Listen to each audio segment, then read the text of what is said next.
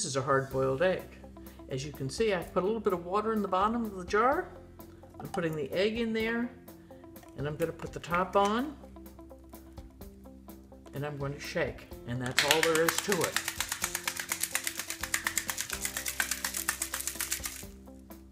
And watch this.